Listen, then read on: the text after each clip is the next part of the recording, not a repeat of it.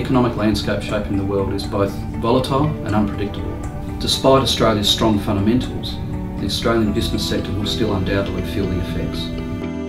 The sheer pace of economic and regulatory change means the environment in which accountants is operating is increasingly demanding and the potential to be particularly challenging through 2012. A number of regulatory proposals are already making their way through the system.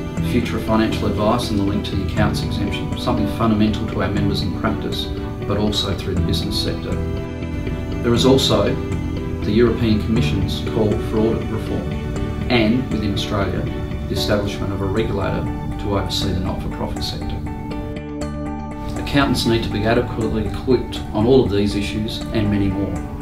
What will the changes mean for their clients? What will the changes mean for them within their business? And how that means they operate their practices. The Forum represents a fantastic opportunity for accountants to keep abreast of both domestic and international issues that capture the environment of today but push them into the future as well.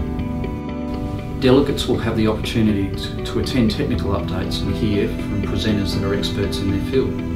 These include areas such as corporate reporting, tax, audit, superannuation, valuable professional development and financial planning. Please do take the opportunity to come and say hi.